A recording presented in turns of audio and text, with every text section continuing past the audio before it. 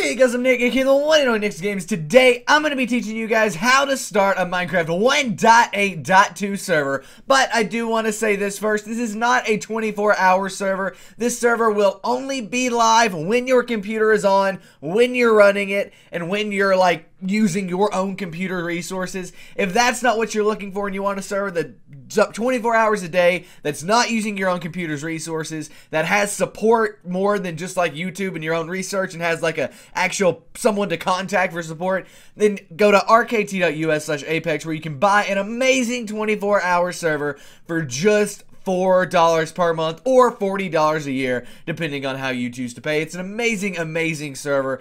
I love Apex. I use them for all of my personal servers, and I've got a few. I recommend them wholeheartedly. Go check them out. rkt.us slash apex. Amazing 24 hour Minecraft servers. You can even have Bukkit modded servers over there, so go check it out. Anyway, guys, if that's not what you're looking for, if you just want a server that's only live when you're, you know, uh, hosting it on your computer using your own computer resources and, and all of that stuff and it uses your own IP. This isn't a server that you want to make public because it's on your own IP and you don't want to give that to people. Then let's go ahead and uh, go on with the tutorial. So what we're going to do is go to minecraft.net slash download right here minecraft.net slash download. And as you can see right down here it says multiplayer server. So if we come over if you're running windows and just want to set up a server easily download minecraft underscore server.1.8.2.exe right there. Perfect. Click that. It will now download that server right there. Once that finishes still not finished still not finished. Uh, wait for it. There we go. I think it, is it finished Let's see. We will see. It looks to be finished. So there is that. We now have this server downloaded on our desktop. Now what we need to do is create a new folder. So right click, new folder. Ah, come on now. I can't click today. There we go. And I want to name this whatever. You can name this whatever you want. You can literally name it that if you wanted to. But I'm just going to name it, just for ease of use, server 1.8.2. And now what we need to do is take this file right here and drag it into server 1.8.2 or whatever the folder you just created is. So I'm going to do that. Boom. It transfers over. Now we want to open that folder and here it is, right? Minecraft server 1.8.2. Now what we want to do is simply double click on it. Go ahead and click run. I actually always want it to run, so I'm going to uncheck this box here and then click run. It'll now go through, run the server, and generate some files. Now, it's not going to generate everything you need. Why? Because we need to agree to the EULA. So double click on EULA right here. Double click on that. It'll open up in Notepad right here.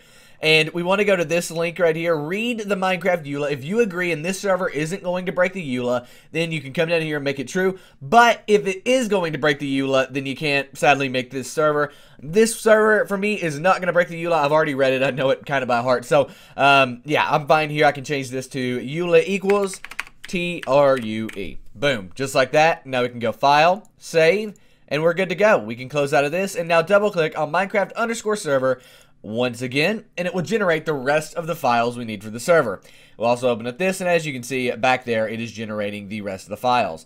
Now what we need to do is come into this box right down here and type STOP, stop, hit enter, and it will close out of this and things like that. While it's doing that, which it will take a second, there we go, uh, we need to come into server right here and uh, right click on it, open with, it'll open up this box right here, and we want to double click on notepad. So double click on notepad and there you go.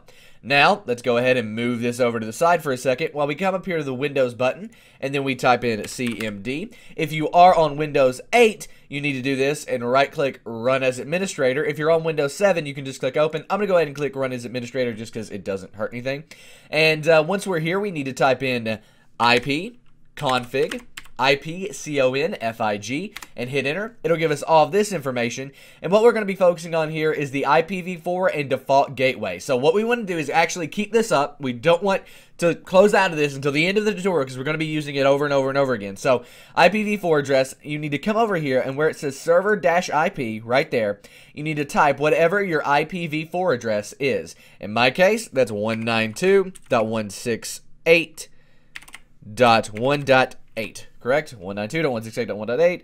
Bam, bam. Okay, so yours will probably be different, by the way. Whatever is right here where it says default or IPv4 address, right here, whatever it says next to this colon, that is what you're going to put. It's probably not 192.168.1.8. It's probably not that. It's probably something completely different. But whatever it is, copy it from here directly over to where it says server IP. No reason to overcomplicate things. If it's not the same as mine, don't freak out. Just copy whatever it says. Once you've done that, you want to go ahead and click File, Save. You can now close out of this, and we can go ahead and open up our internet browser. Okay, so right here, we want to click on a new tab. Just open a new tab. And what we want to type right up here in the address bar is actually our default gateway, which in my case is 192.168.1.1. So 192.168.1.1. Bam, hit enter. It will now open up for me a login screen that looks like this. For you, it probably won't do that, but don't freak out. It will open up some kind of login screen, right? Some kind of login screen on some of some kind, right? Whatever it is, it'll open up some kind of login screen. If you know that login information, go ahead and enter it. But what if you don't? Well, luckily, the second link in the description down below will take you to this page right here, where you can go ahead and find your router password. So for me, let's go ahead and scroll down here. Let's just say we have a Cisco router right here. And then let's say that we have, I don't know, this one right here, right? So Cisco Works 2000, which is actually a corporate router, but nevertheless, admin and Cisco. So that's what it is. As you can see, default username and password. So if we were to enter on this kind of router, admin and Cisco, it would work. See? Admin, Cisco, right? Now, what if it says none? If it says none, you leave it empty. Not too crazy there. Just leave it empty. Don't put anything in. If it says password, right? Right here, if it says password, type in password. So if it's none like this, you just leave it empty. If it says password, you type in the word password. If it's admin, whatever over here, that's what you type in. But find whatever kind of router you have and then get the login information. Come back over here, enter it, and then click login, and you will be good to go. And now it will open up something that looks exactly like this or completely different. Most likely completely different from this. But guess what? That is 100% okay because I'm going to tell you what we're looking for. This isn't too hard. We can do this. So what we want to do is go to advanced, right? You're going to probably find the advanced tab on your router, wherever it's at. For you, it might just be like this. It might be advanced settings. It might be, you know, geek stuff, advanced, whatever it is. Find the advanced settings, the stuff that's not just your general wireless settings. Click advanced now what we want to do is go to, on my router, again, advanced setup. For you, you might not go to advanced setup. You might go directly to port forward, apps and gaming, right? You might go to port forward slash port trigger, but what you're looking for here is port forwarding or port forward or apps and gaming. So those are the three things, port forward, port forwarding, or apps and gaming. Those three things that's what you're looking for. One of those. As you can see for me, it's port forwarding right there. That's what I'm going to click. It is now going to take me to this page where we can port forward. So let's go ahead and click port forward right there. Come down here and then we want to add a custom service.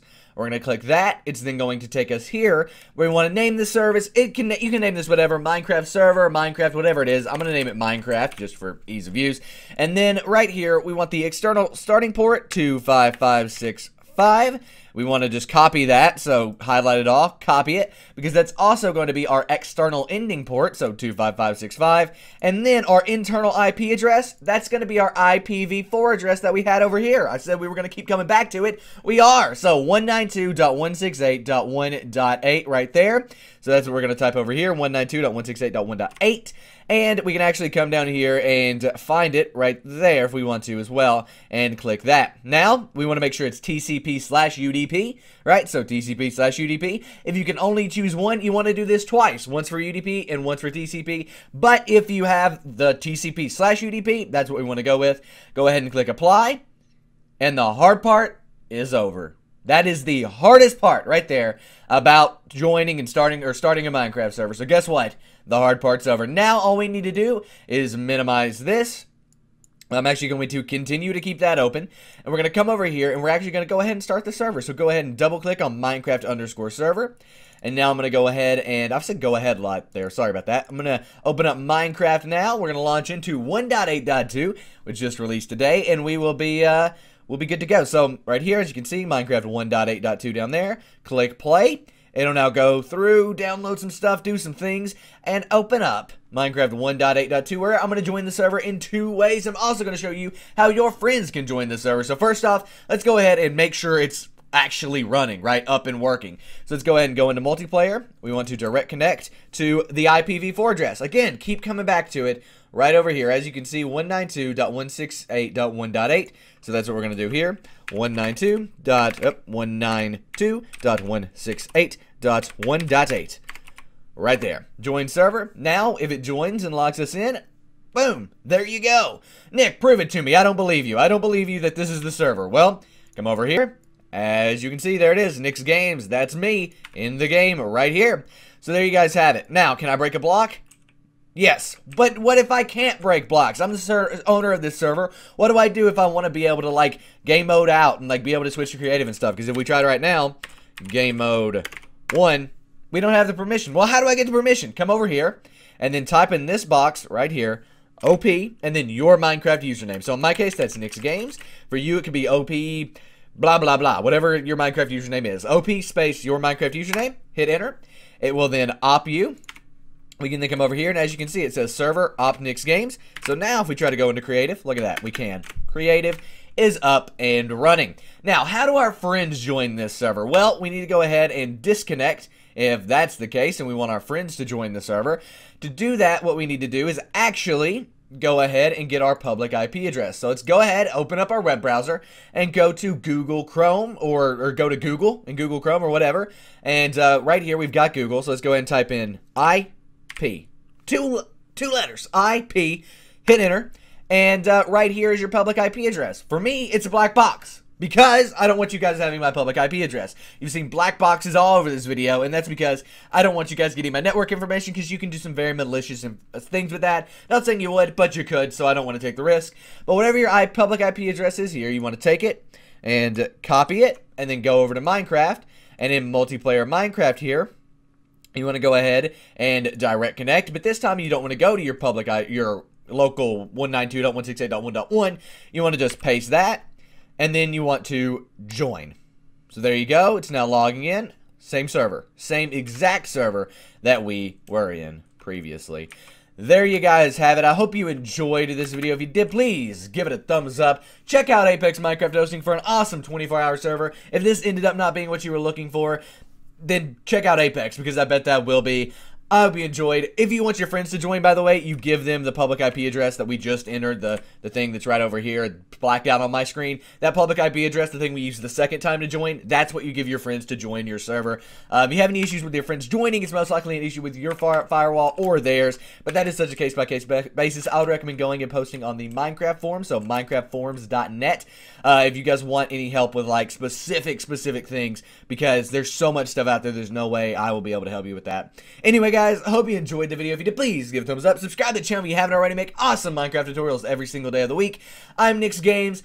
Thanks for watching. I'm out, guys. Peace. And there you guys have it, how to start a server in Minecraft 1.8.2. Here's some more videos you guys might want to go check out. Down that way, we've got what's new in Minecraft 1.8.2. They updated, but what exactly is new in it? Well, there's a ton of stuff, and go check out that video to see exactly what. And down that way, we have texture packs and how to get those in Minecraft 1.8.2. So there you guys have it. Hope you enjoyed this video. Again, if you did, give it a thumbs up. Check out rkt.us slash apex. First link down below. I'm Nick's Games, and I am out, guys. Peace.